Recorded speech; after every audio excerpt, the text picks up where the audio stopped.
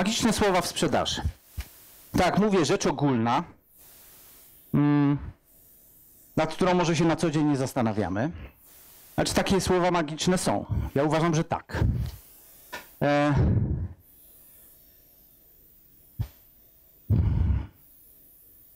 Ja chciałem zwrócić Państwa uwagę na jedną rzecz. Mianowicie, żyjemy w epoce dyktatury słowa tak.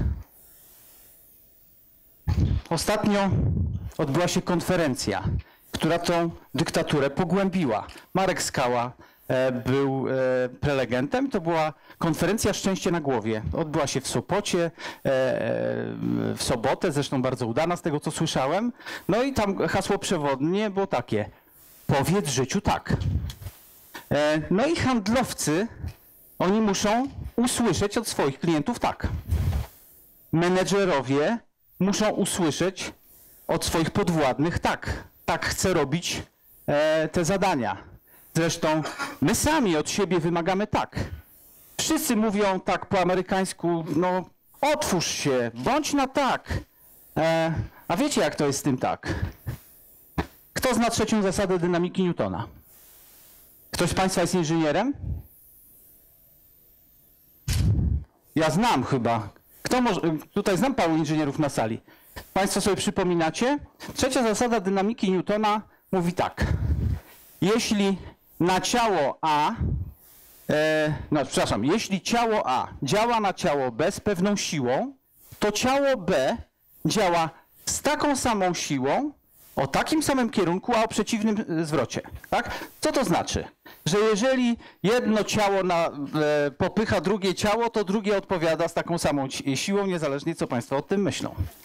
E, jak to się objawia w praktyce? E, spróbujcie Państwo namówić do czegoś e, swoje dzieci. Zgodnie z tą zasadą, gdzie, wiesz co, wychodzimy z mamusią na e, jakieś, nie wiem, do restauracji, na imprezę. A wy w tym czasie, drogie dzieci, no nie wolno dotykać komputera, poczytajcie książkę. Ja rozumiem, że po takiej prośbie wszyscy odnieśli sukces. To musicie pamiętać o tym, że e, jak próbujemy kogoś do czegoś namówić, to tak mocno, jak namawiamy tego kogoś, e, tak ten mocno, tak mocno ten ktoś się z tym nie zgadza. I tak się bardzo często dzieje w biznesie. Im bardziej ci z firmy telekomunikacyjnej, którzy ostatnio do mnie dzwonią, bardziej mnie namawiają do tego, żebym zmienił jednego operatora na drugiego, tym ja bardziej nie chcę tego zrobić. E, opowiem trzy historie, które pokażą, jak to jest z tym tak, jak to jest z nie w sprzedaży i w biznesie. Pierwsza historia przydarzyła mi się osobiście kilkanaście lat temu. Byłem dyrektorem handlowym w jednej z firm odzieżowych. E, ta firma miała trzy marki i otwierała e, sklepy franczyzowe. No i otwarcie takiego sklepu franczyzowego to e, była niezła inwestycja. To były miasta od mniej więcej 30 do 70 tysięcy mieszkańców. No i wydatek na założenie takiego sklepu franczyzowego to było od 250 do 700 tysięcy złotych. No czyli kwota jak dla małych lub średnich przedsiębiorców ogromna. Miałem w owym czasie sześciu regionalnych menedżerów sprzedaży, których każdy mniej więcej raz na kwartał, raz na pół roku powinien otworzyć, znaczy znaleźć klienta i otworzyć taki sklep.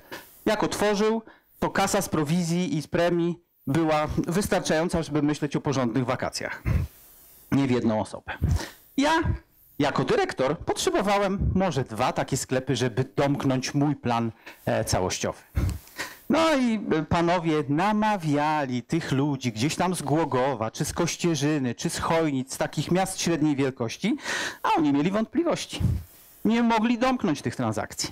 No i któryś e, z pierwszych tych moich regionalnych mówi tak, Jacek, chodź, pomóż, przyjedzie wyższa szarża, będzie nam prościej. No ja ponieważ niespecjalnie mi zależało, bo i tak wiedziałem, że mam sukces, to mówiłem coś takiego. Wiecie Państwo, ja wcale nie przyjechałem Was namawiać. Ja powiem tak. Wy się spokojnie zastanówcie, czy Wam ta franczyza w ogóle jest potrzebna. Wi- Widziałem, że e, zaczynają się robić oczy jak 5 zł z rybakiem, jak Państwo pamiętacie jeszcze te stare 5 zł, to największa moneta. E, to Pan nas nie namawia? Mówię, nie. Po co ja mam Was mieć na sumieniu? Wy się porządnie zastanówcie. Może to Wam nie jest potrzebne. Usiądźmy, pogadajmy. Może trzeba do kogoś innego zadzwonić, kto prowadzi już taki sklep. Jak to Wam nie pasuje, Wy w ogóle tego nie bierzcie. To bez sensu. No i siedliśmy, pogadaliśmy. W ogóle ich nie namawiałem. Co się stało na koniec? Podpisali umowę. Pojechałem jeszcze do czterech moich regionalnych kierowników sprzedaży i ta rozmowa odbywała się bardzo podobnie. Mówię, macie wątpliwości? Ja na waszym miejscu też miałbym ogromne wątpliwości. Za każdym razem, jak wydaję 700 tysięcy złotych, to mam wątpliwości. I rozumiem każdego, kto ma taką kasę do wydania, że on będzie miał wątpliwości, więc mówię, nie róbcie tego. Podpisywali. Zresztą skutek biznesowy też był dobry. To pierwsza sytuacja. Drugą sytuację zaobserwowałem e, prowadząc coaching on the job, czyli taki, taką obserwację handlowca w trakcie pracy. E, firma z branży spedycyjnej. E, ta przedstawicielka handlowa, bo to była dziewczyna, ja bym powiedział, czy ona była najlepszą z przedstawicielek?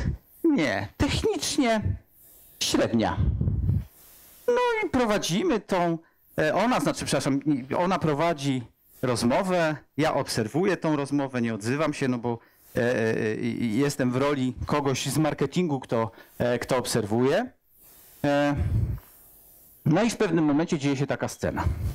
Klient mówi coś takiego, mówi, słuchaj, ja to od ciebie wezmę, ale po tej cenie kosmicznej w życiu.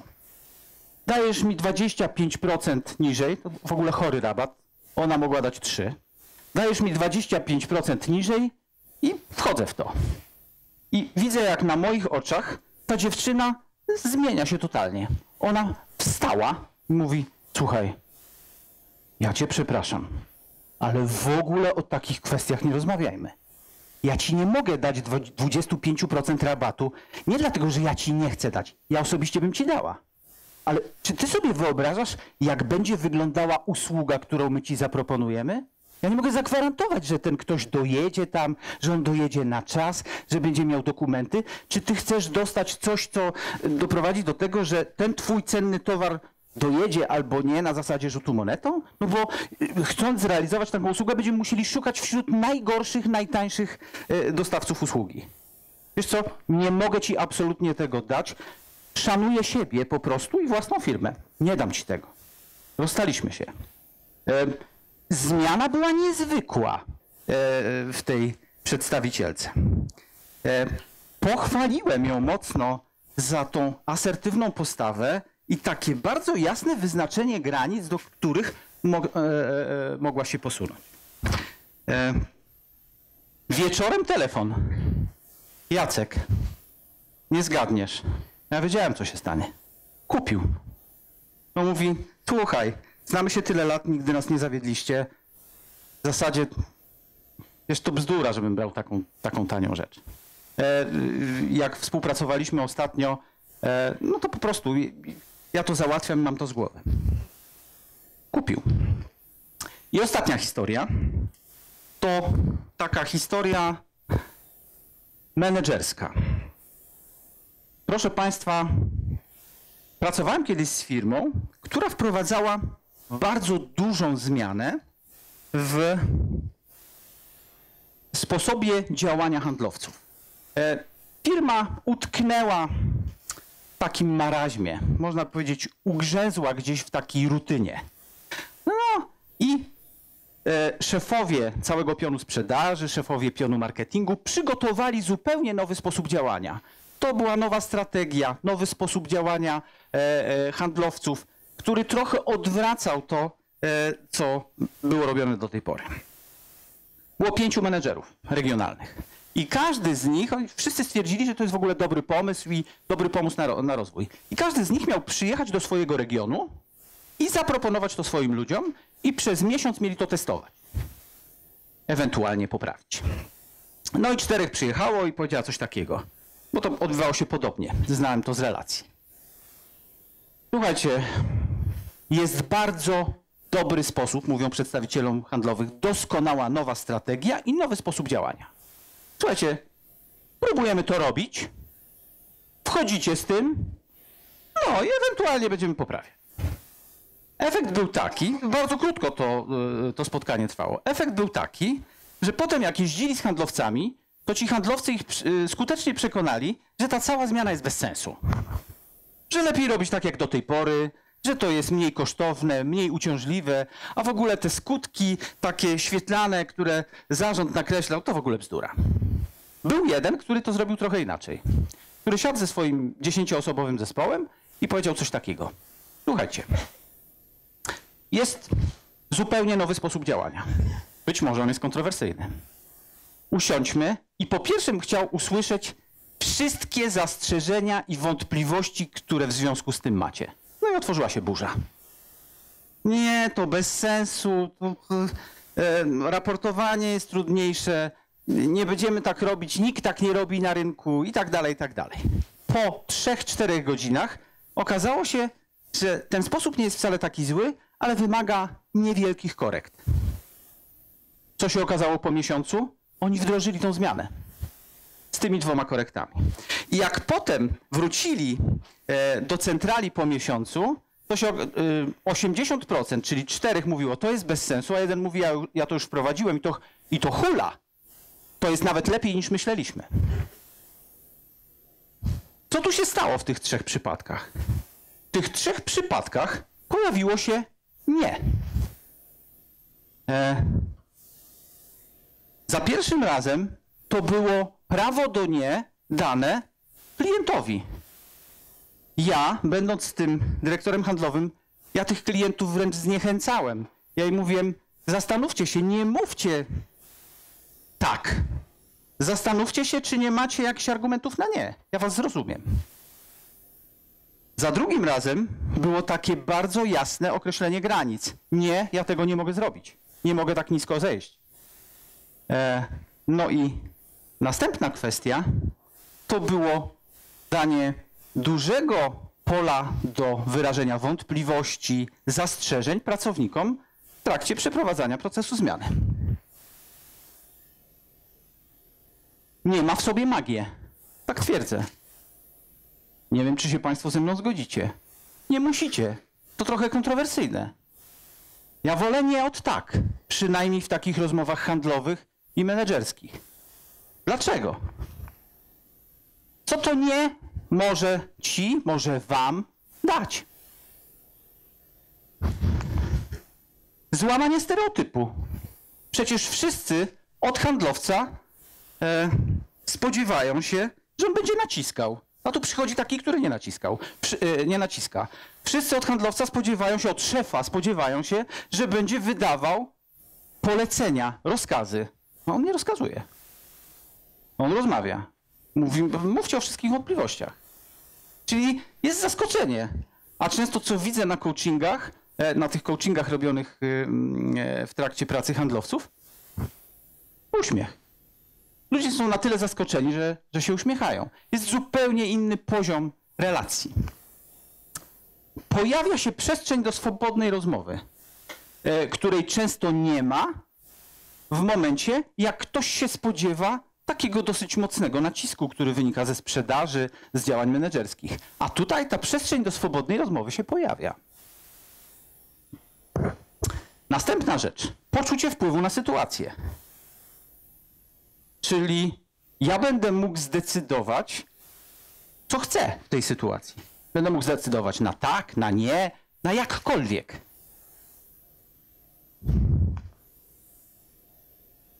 Możliwość jasnego określenia swoich granic. Słuchajcie, czasami nie chcemy iść gdzieś dalej. Sytuacja nas zmusza, nie wiem, na, nasze myślenie kulturowe nas zmusza. Bo wszyscy tak robią, wszyscy tak mówią, albo tak się e, e, zwykło działać w biznesie i trochę idziemy e, jak owce za stadem. A wcale czasami wydaje się, żebyśmy nie chcieli. Możliwość jasnego określenia swoich granic. Szacunek rozmówcy. Tak, takie bardzo jasne określenie granic. Pamiętacie tą historię z tą prze- przedstawicielką handlową? Ona doprowadziła do tego, że ten gość zaczął ją szanować. Nie dlatego, że się zgodziła, jak ja to mówię, na ściągnięcie majtek z ceną aż do samej ziemi. Czasami handlowcy wręcz je wyrzucają, e, zdejmują i wyrzucają, a ona się bardzo mocno postawiła. I powiedziała, nie, nie zejdę. Co zyskała? Szacunek. Przełamanie własnych obaw i barier. Często ciężko nam samym, sobie samym powiedzieć nie. My jesteśmy w, w toksycznych sytuacjach, w toksycznych firmach, pracujemy przy projektach, których nie chcemy. Nie chcę już mówić o życiu, bo czasami zdarzają nam się toksyczne związki czy przyjaźnie. Więc powiedzenie nie również sobie daje ogromną przestrzeń do tego, żeby znaleźć pole, w którym będzie lepiej. Nie daje szansę na szczere tak. I ja zachęcam Was do nie. Może to się wydawać dziwne. Zachęcam do nie, żeby gdzieś na samym końcu usłyszeć szczere tak, takie tak, którego tak naprawdę oczekujecie. Dziękuję serdecznie.